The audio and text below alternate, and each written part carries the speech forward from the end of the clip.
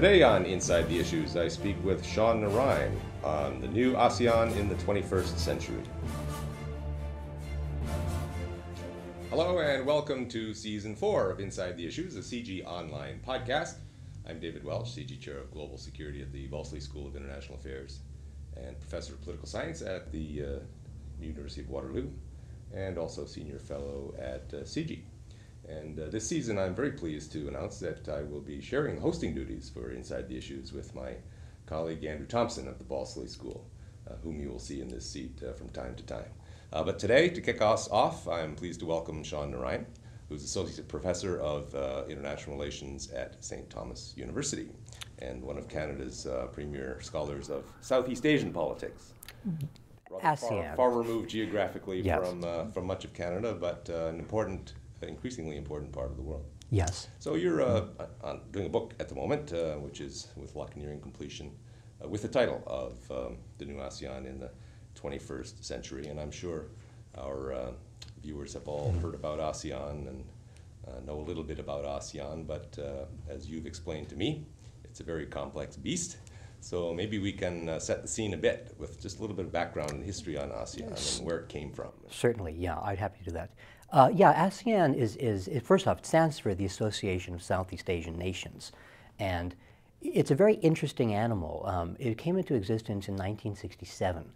And at that point in time, ASEAN was created largely as a sort of uh, a pact between its member states that, that they would not that, that they would essentially try to interact with each other peacefully. It came as a direct result of a confrontation, a military and social and political confrontation between Indonesia, uh, Malaysia, and Singapore. And after this, this ended, this confrontation ended, uh, the countries of Southeast Asia, who had been each other's, at each other's throats at this period, realized that they could hurt one another.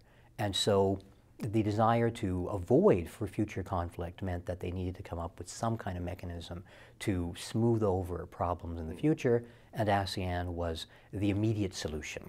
And whose idea was it? Well, that's a little bit complicated. There had already been a previously existing organization called the Association of Southeast Asia, and it did not have Indonesia as a member. And so when Indonesia wanted to join ASEAN or join a new regional organization that would help to smooth its relations with its neighbors, it could not join something that it was not part of creating. And so the other countries decided, yes, we will take the ASA and essentially fold it into ASEAN and call it something new, even though it's building on the foundation of what had come before. And the one commonality that all the states at this point in time had with each other was that they were all concerned with uh, uh, co- co- communist insurgencies. And so this common thread of being anti-communist ran through the member states at the time, uh, who were Indonesia, Malaysia, Singapore, uh, Thailand, and the Philippines. hmm And now, was the fact that the Vietnam War was, was raging at the time uh, related at all to the creation of ASEAN, or was it? Uh, Not, issue. it was a separate issue in many ways, though, though the things certainly inter, interacted with each other, uh, those two events. One of the arguments I've always made consistently is that when you look at the evolution of ASEAN, how it's grown and changed over the years, it's almost always been driven by external events. So something has happened in the larger outside environment that has forced these, these countries to decide to move on to the next step in the organization's development. In this instance, after 1967, there was a period of time where internal conflict between the Philippines and, and uh, Malaysia actually sort of paralyzed ASEAN for a time.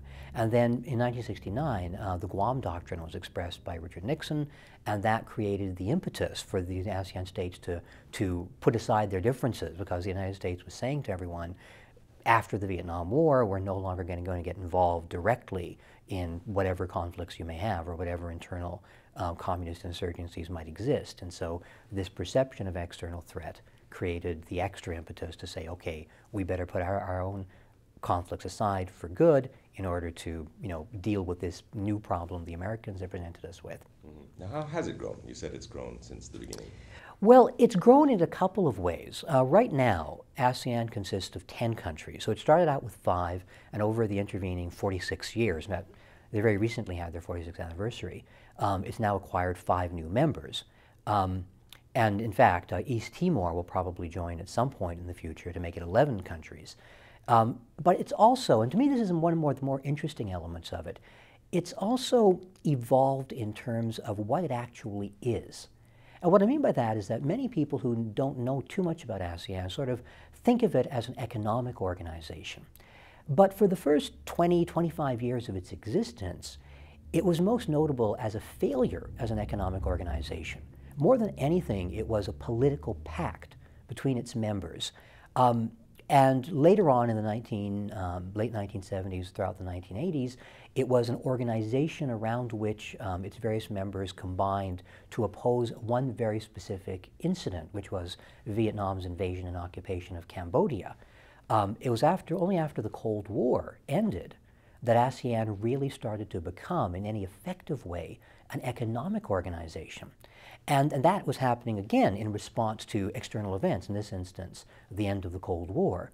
And so one of the really interesting things about this is how it's moved and shifted as time has gone on. In fact, in some respects, like at the end of the Cold War, ASEAN had this determination to continue to exist, which meant that it had to find new purposes for itself to organize around. Um, which in itself is interesting because it means it seems to imply that the members of the state, member states realized that there was some value in having this organization. They didn't just say, well, the Cold War is over, our purpose has been served, let's go our separate ways. But at the same time, they seemed to feel that simply recognizing the advantages of having a cooperative organization that allowed them to interact with each other on a regular basis wasn't enough to keep it going. So they needed other purposes to orient themselves around. Hmm. No, it's not like NATO. It's not a military alliance, and it's not like the European Union. It doesn't have all these supranational institutions that sort of integrate and regulate and permeate sovereignty. Is it like anything else, or is it a unique beast? I would argue it seems unique. Now, for many years, ASEAN was called the most successful um, um, um, um, international organization in the third world. Um, and in recent years, while I still think that's largely true, I think that title has been challenged to some degree.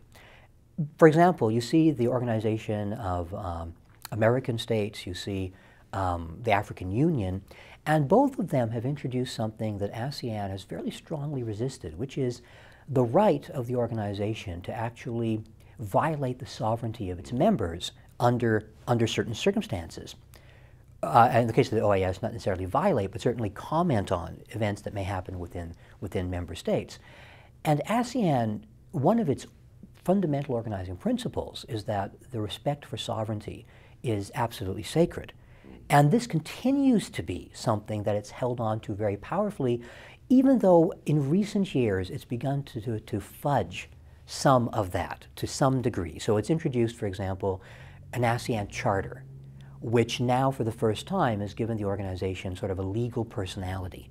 And the ASEAN charter seems to suggest in some of its passages that sovereignty and the ability to comment on what's happening domestically to a state is now within the playing field. You know, it's something they might be willing to do. But at the same time, there are other provisions in the same charter that reinforce the idea of sovereignty and non-intervention in member good. states. Very interesting. Well, we'll follow up on those uh, in a minute with Shaun Narine.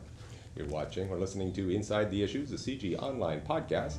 Look for us at cigionline.org, on Facebook, on Twitter, and on YouTube.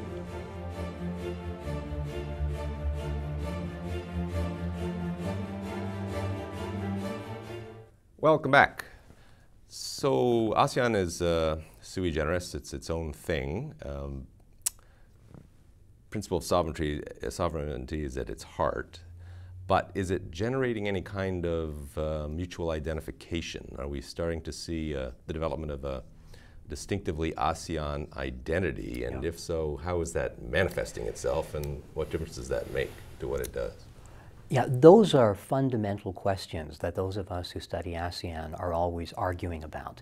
Um, my take on it, I'm a bit of an ASEAN skeptic, but the position that I take on this particular issue is that there definitely is an ASEAN identity, and it is manifesting itself primarily among the, the different ruling, ruling groups who run the societies, you know, the, the government elites, the academic elites, people like that. At the same time, though, they are also, my argument is that ASEAN identity is only one identity. And like, like all of us, um, these elites have multiple identities. And when you put the ASEAN identity in the overall hierarchy of identities that are important to them, it's very low down the totem pole. And so what it means is that while there is an identity, and while you can see certain indications of this, you know, polls have shown that most people in ASEAN countries at least have an idea that such a thing exists. At the same time, they don't necessarily know what it does. Um, so among the general public, I think there's a very weak sense of ASEAN identity, if it's there at all, though, again, polls on this are mixed. Among the elites, there's a stronger sense of both ASEAN identification and awareness of ASEAN, but again, the fundamental issue is when push comes to shove and you have to choose between the interests of one identity versus that of the ASEAN identity, which takes, which, which, which actually takes uh, uh, pre precedence. And my argument is that when you look at the historical record, there's almost no evidence to suggest, with a couple of exceptions, that individual ASEAN states and their leaders have put the interests of the organization ahead of the interests of their state. But it's hard to gauge this because, of course, when your organization puts such priority on sovereignty, then in fact, you can really argue it's not designed to ever create a situation where the interests of the state have to come into competition with the interests of the, of the organization.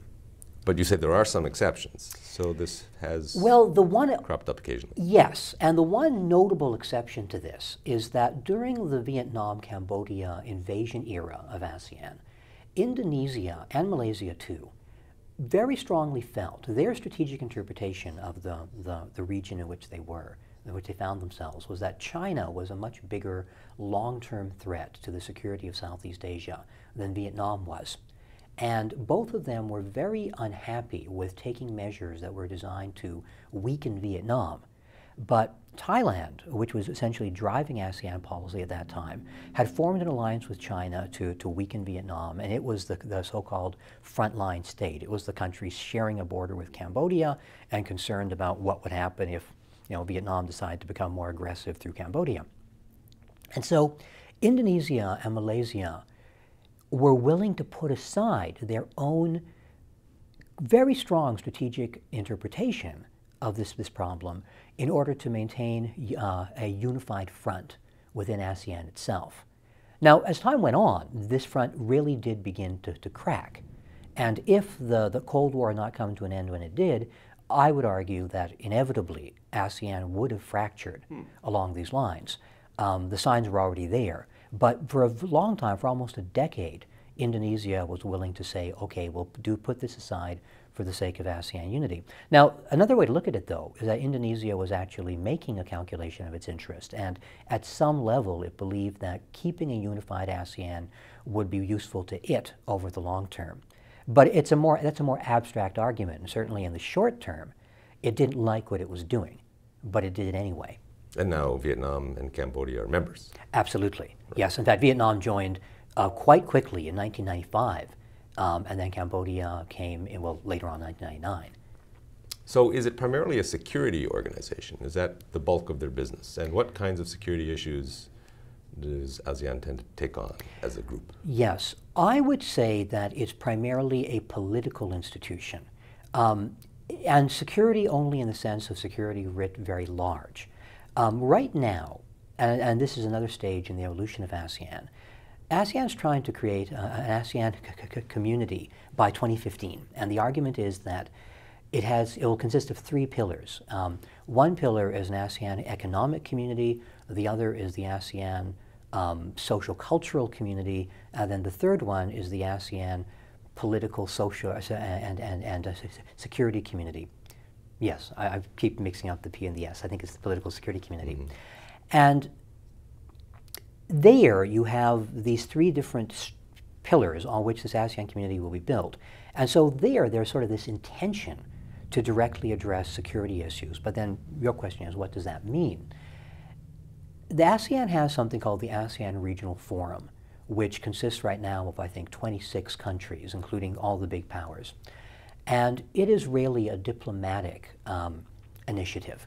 It, it, has no, no, there's no effort to create any kind of a military um, regime. There's no effort to create any kind of mutual security pact or anything of that nature. It's entirely a place where countries can meet to discuss issues of concern to each other, to smooth over issues that have a security orientation that might lead to conflict or problems further down the road. Um, Amitav Acharya has argued that one of the, the conditions of ASEAN, in fact, one of its norms, is that it will not form a security or, or a military organization. Now, again, the arguments around this, I think he's right, but I also think that the possibility of them forming a military union was something that did come out when the organization was first being created. Um, Indonesia, again, sort of floated the idea, but the other member states were not, not interested. Because and they were scared of Indonesia. Exactly, because in many ways they saw ASEAN as a way to constrain Indonesia. Right. And, and sort of being in the, in the tub with the crocodile was not something that the rest of them wanted to do. Um, over the years, this has changed to some degree, but at the same time, the actual security relationships that most ASEAN countries have, even the ones that have outside security relationships, um, is with the United States. Hmm. And so they're part of the San Francisco system, at least many of them, um, to one degree or another, and some of them have less formalized but then equally strong relationships. Very good. We'll be back again in a minute with Shaun Narine to talk more about ASEAN. You're watching or listening to Inside the Issues, a CIGI Online podcast. Look for us at cigionline.org, on Facebook, on Twitter, and on YouTube.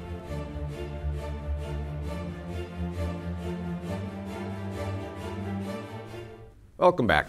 So I'd like to talk a, a bit about the challenges of the 21st century. I, I guess the agenda has evolved much as the organization has evolved. But uh, as I understand it, one of the things you're particularly interested in is how this group of, in the grand scheme of things, relatively small countries has been relating to the relatively big countries. And uh, one of the interesting things about uh, Asia Pacific politics is that ASEAN has somehow or, or, another acquired almost a kind of pride of place in at least the security governance of the region, which doesn't seem to square with our traditional realist assumptions about how international politics work. So India, China, the United States, they're all on the side, uh, on the margin, uh, occasionally participating with ASEAN countries in one of those uh, plus something uh, categories, but um, not central. And yet, yet ASEAN has somehow managed uh, to uh, survive and do its thing and um, neither fall prey to nor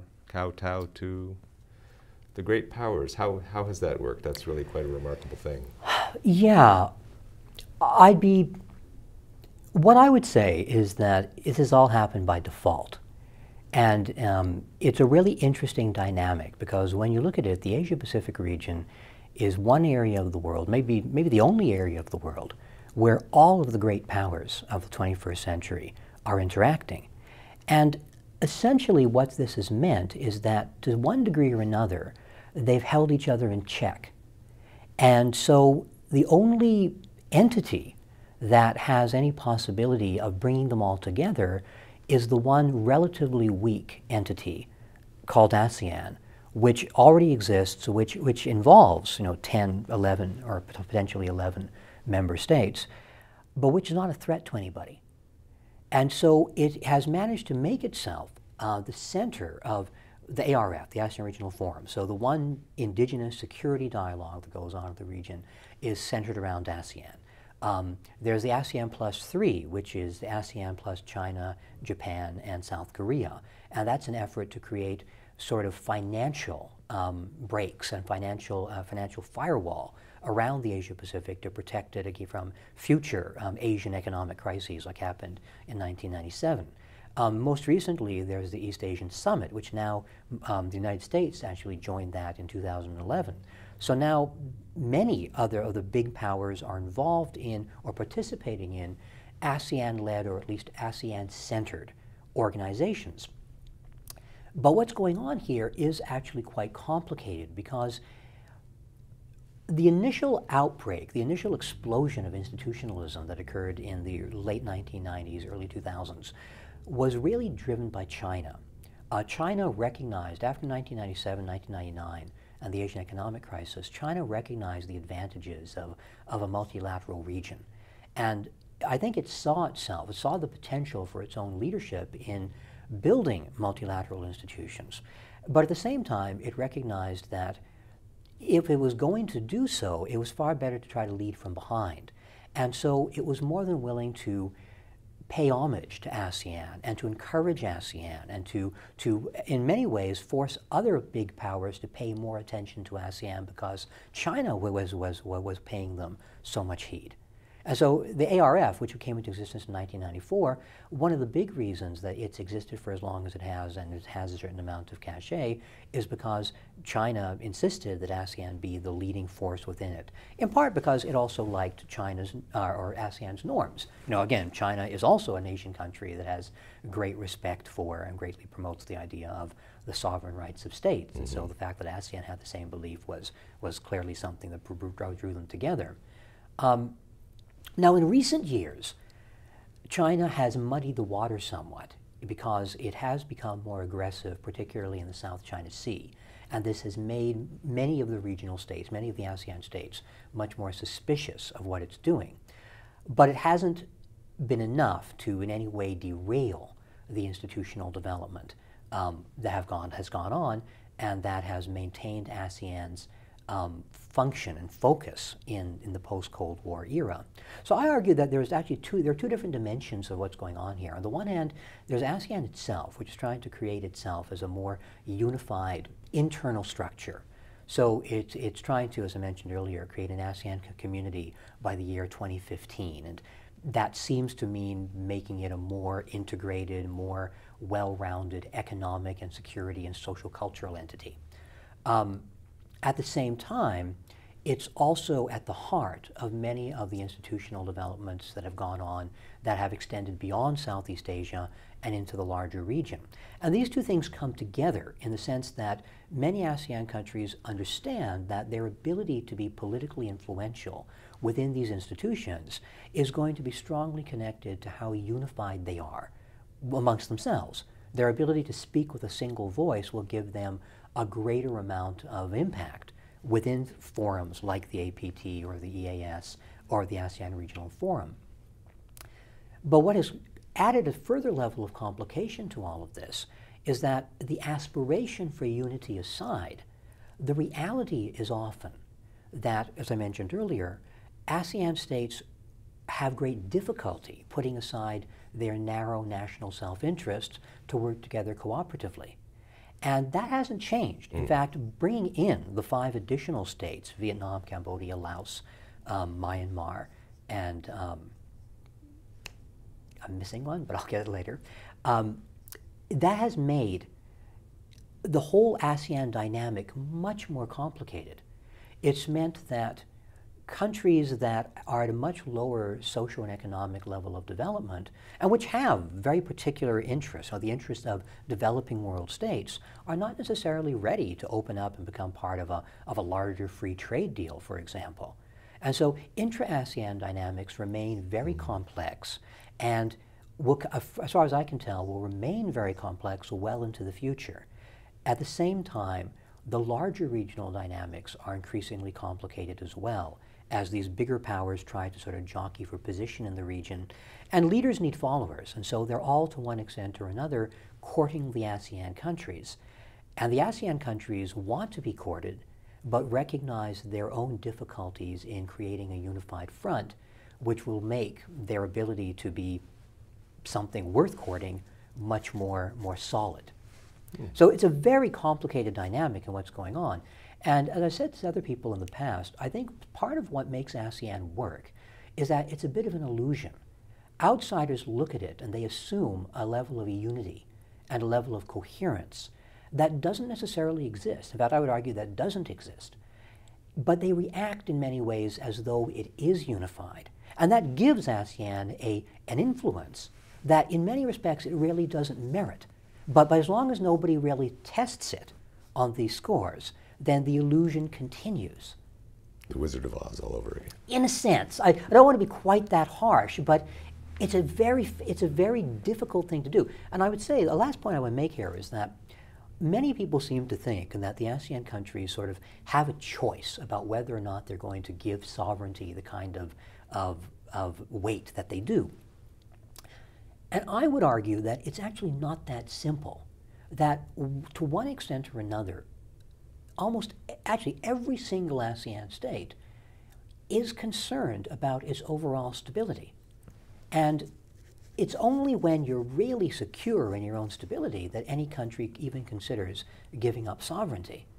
And so the ASEAN countries, unless they can see some definite benefit to giving up sovereignty that will actually enhance their sovereignty and their stability in the long term, it's quite reasonable for them to say that we're not going to give up any more sovereignty than we absolutely have to. Makes perfect sense in a, in a paradoxical kind of way. Yeah. We'll be back one last time with Shaun Narine. You're watching or listening to Inside the Issues, a CIGI Online podcast. Look for us at cigionline.org, on Facebook, on Twitter, and on YouTube.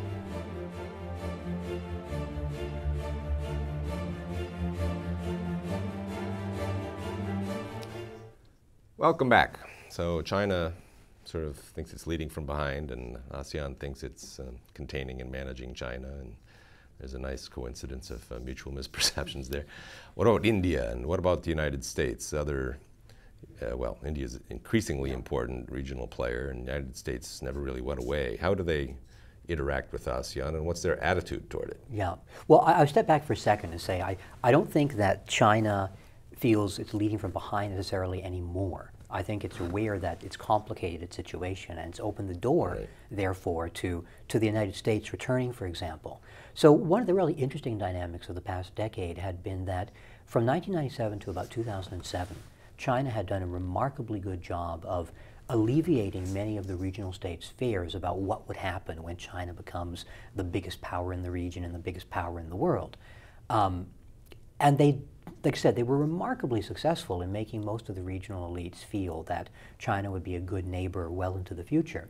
And this had blocked um, the United States to a significant degree. The Americans, um, whose, whose raison d'etre in, in, in, Southeast Asia and the Asia Pacific is largely, uh, the Americans are, of course, a major economic player, but much of their role in the region is providing security. Mm-hmm. And, and they were aware that, that they saw China as a major challenge, a major threat to their dominance. But they had no easy way to get the regional states to agree to see China in the same way. And so the Americans were deeply frustrated by the fact that China was so successful um, in playing off um, the smaller states. After 2007, and particularly around 2009, 2010, China started becoming more aggressive in the South China Sea.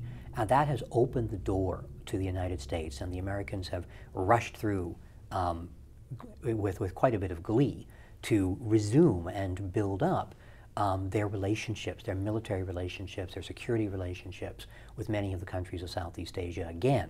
And so this very important role the Americans have traditionally played of providing security for the region, of providing stability because they're seen as an outside power with no vested interest in what goes on, this has been reinforced to a significant degree um, in recent years. Was that a Chinese mistake? And if so, do they see it that way? I think it was a Chinese mistake, and many Chinese scholars see it that way too. But, but, there, but it's a bit more complicated than that because there are many Chinese scholars who do feel that what was happening was that other countries were taking advantage of China's goodwill. And so things were happening in the South China Sea that were not supposed to be happening. You know, economic development without China's okay, you know, things hadn't been resolved, and yet Vietnam and other countries were trying to, to build up economic uh, activity. And so China felt that it was being taken advantage of and it pushed back. I think China really miscalculated, however, because it had so much to lose by pushing back because there was already so, so much fear built up over what it could be that in doing this, it's created enough damage to its own diplomatic relations that it will have a much harder time pulling itself out from under the mess it's, it's, it's now mm. created for itself. So it'll take a much more effort to get back to where it was in 2007. And yet ASEAN can't get together on the South China Sea because they've got their own conflicting overlapping claims. Exactly. Uh, there are many conflicting overlapping claims among the ASEAN countries themselves. Um, many of them have claims that are just as questionable as the Chinese claim. And also, and this complicates the issue further, there are members of ASEAN whose economic relationship with China is very, very powerful. And uh, we saw this recently, in fact. Last year, Cambodia uh, blocked a, a common statement coming out of the ASEAN, uh, the usual ASEAN uh, ministerial meeting, apparently because China asked it to. Hmm. And this was a, a, demonstration of China's ability to reach into ASEAN and create disruptive effects if it chose to do so. Now, my argument there would be that China miscalculated there as well, but let me, let me return to the United States and India. Um, so the United States now has new possibilities, and new opportunities in the region that it never entirely lost, but which now are being strengthened by the fears that other regional states now have about China that had been alleviated earlier. In the case of India, India is very interesting because in the past, it was never much of a major player in Southeast Asia, mm -hmm. but in recent years, it's become more and more active. It has a look east policy, which means it's trying to develop Asia, its Asia-Pacific relations. Uh, it's a new emerging economic power in the in the world, and it sees Asia, as everyone else does, as a place that has enormous potential for economic development, and it wants to capitalize on that. At the same time, it also is recognizing the uncertainty that Chinese activities have created in the South China Sea and the region as a whole. Now, India and China have a, an ongoing rivalry. And mm -hmm. Sometimes it's, it's, it's quite hot, most of the times it's relatively cool, but China has tried to sort of surround India in a way. It's tried to make uh, or create very strong relationships with all of the South Asian countries surrounding India, many of which India has uh, abused in the past. India is now starting to respond to that by trying to build up a sort of a counter ring um, of Southeast Asian allies and Southeast Asian colleagues that it can appeal to and, and, sort of counter what India, China is doing by, by going behind China and creating another circle encircling China. At the same time, Ch India and Japan have created a much stronger security relationship. Economically, they're not that closely bound, but that has potential to grow as well. But in terms of security, they are seeing each other as very real potential allies and very real um, possible allies uh, working together to help offset China. And so what China has done in, in many ways, it's, it's created the opportunity for its, its possible antagonists to get together. And it's given them good reason to get together, and it's also antagonized many smaller states that didn't need to. In fact, one of uh, my colleagues has said that no country has been more successful at building security ties in the Asia Pacific than China. Unfortunately, it's built all those security ties against it.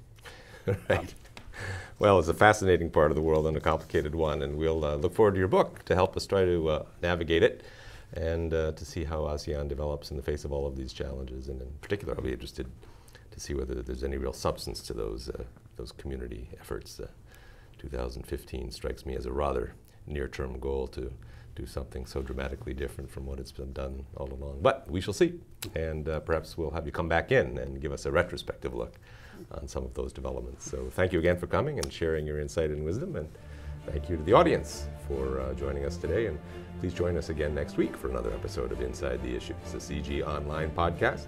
Look for us at cigionline.org, on Facebook, on Twitter, and on YouTube.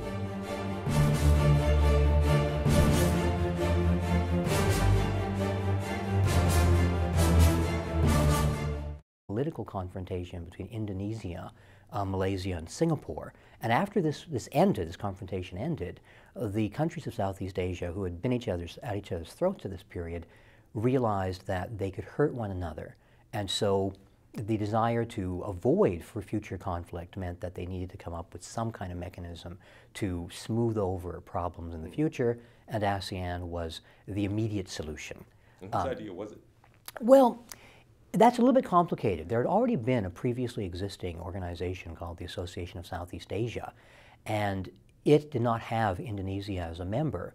And so when Indonesia wanted to join ASEAN or join a new regional organization that would help.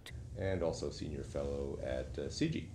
And uh, this season, I'm very pleased to announce that I will be sharing hosting duties for Inside the Issues with my colleague Andrew Thompson of the Balsillie School, uh, whom you will see in this seat uh, from time to time. Uh, but today, to kick us off, I'm pleased to welcome Shaun Narine who's Associate Professor of uh, International Relations at St. Thomas University.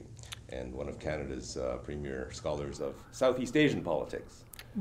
Far, ASEAN. far removed geographically Yes. from, uh, from much of Canada, but uh, an important, increasingly important part of the world. Yes. So you're uh, doing a book at the moment, uh, which is with luck nearing completion, uh, with the title of um, the new ASEAN in the 21st century. And I'm sure our uh, viewers have all heard about ASEAN and uh, know a little bit about ASEAN. But uh, as you've explained to me, it's a very complex beast. So maybe we can uh, set the scene a bit with just a little bit of background and history on ASEAN and where it came from. Certainly, yeah, I'd happy to do that. Uh, yeah, ASEAN is, is, is, first off, it stands for the Association of Southeast Asian Nations.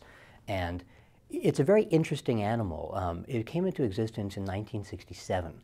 And at that point in time, ASEAN was created largely as a sort of uh, a pact between its member states that, that they would not that, that they would essentially try to interact with each other peacefully. It came as a direct result of a confrontation, a military and social and to smooth its relations with its neighbors. It could not join something that it was not part of creating. And so the other countries decided, yes, we will take the ASA and essentially fold it into ASEAN and call it something new, even though it's building on the foundation of what had come before. And the one commonality that all the states at this point in time had with each other was that they were all concerned with uh, uh, communist insurgencies. And so this common thread of being anti-communist ran through the member states at the time, uh, who were Indonesia, Malaysia, Singapore, uh, Thailand, and the Philippines. Mm-hmm. And now, was the fact that the Vietnam War was, was raging at the time uh, related at all to the creation?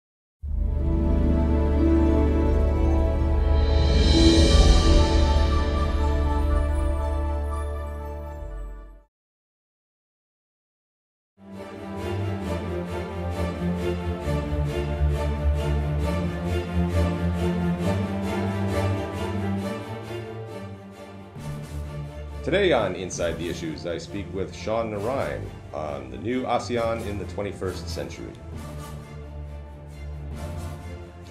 Hello and welcome to season four of Inside the Issues, a CIGI online podcast. I'm David Welch, CIGI Chair of Global Security at the Balsillie School of International Affairs and Professor of Political Science at the uh, University of Waterloo.